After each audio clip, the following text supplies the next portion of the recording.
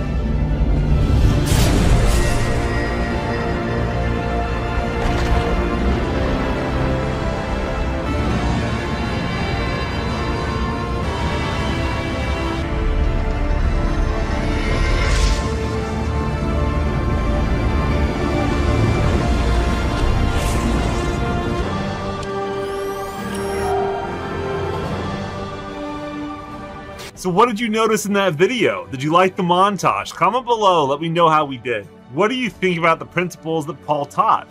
Were they really for his day when they had physical armor? Or are they still in our day? Do they still apply? Do we still fight against great evil? Do we still need spiritual protection? I would argue that we do. Let's go ahead and discuss and dive into more details on the spiritual armor that God offers us. It's time to suit up into the whole armor of God. So you can pause the video if you want, and you can draw a picture like this armor right here, and uh, mark out each piece that we're about to read.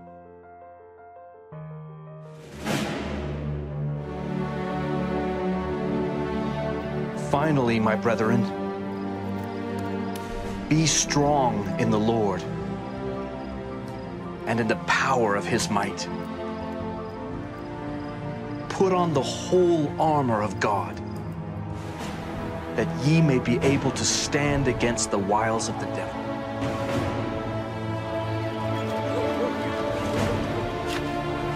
For we wrestle not against flesh and blood, but against principalities, against powers, against the rulers of the darkness of this world, against spiritual wickedness in high places.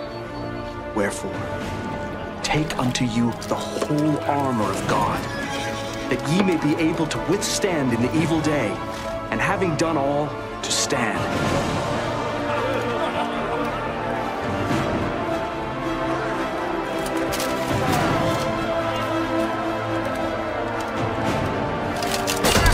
Stand therefore, having your loins girt about with truth, having on the breastplate of righteousness, and your feet shod with the preparation of the gospel of peace. Above all, taking the shield of faith, wherewith ye shall be able to quench all the fiery darts of the wicked.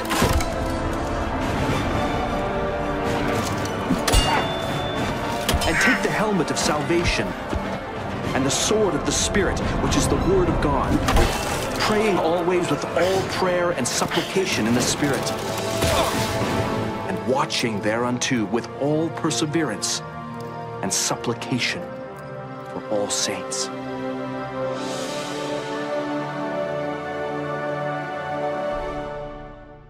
that video from the church, they illustrate what it would be like in Paul's day with their ancient armor and how the physical armor relates to our spiritual protection.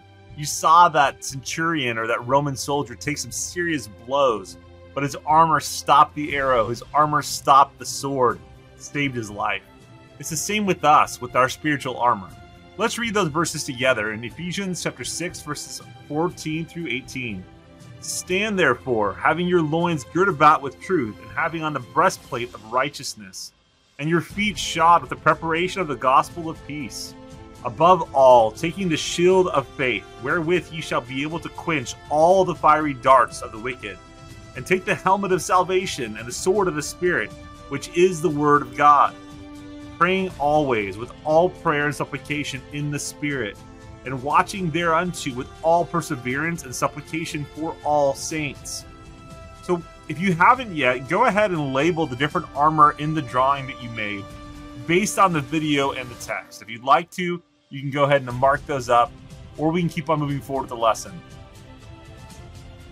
This is what it would look like. Of course, this is a artist's rendition but this is the different pieces of the armor. Russell M. Nelson has encouraged us in the April General Conference to be peacemakers, and we heard many references to that in just the last conference in October of this year.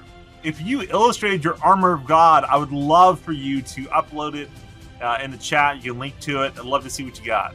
What dangers do you see with wearing only a portion of the armor? If you don't have the shield, for example, do you think that it's going to be a lot harder to protect yourself from the incoming uh, darts from the adversary. And get this man a shield. What can we do each day to, be, to more fully put on the whole armor of God and protect against the temptations that we face? Is it a daily thing, or do you think going to church once a week is enough? What do we need to do to armor up? How can you help someone who is struggling if you are already protected? So, if you have armor and you have a shield, can you help shield them with your faith? Can you give them encouragement?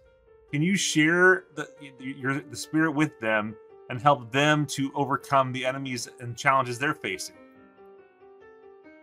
M. Russell Ballard said, quote, I like to think of this spiritual armor not as a solid piece of metal molded to fit the body, but more like chain mail.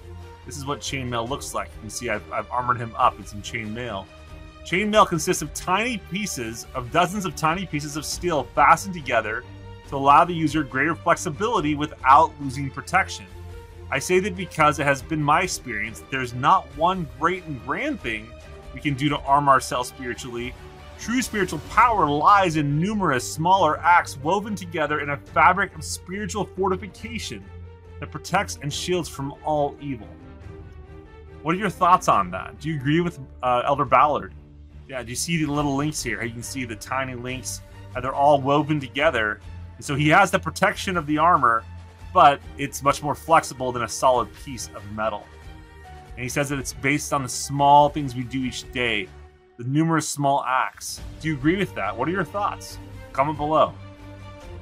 My invitation to you today is to remember that we are a part of the eternal spiritual war between good and evil. And we need to suit up daily in the whole armor of God to survive.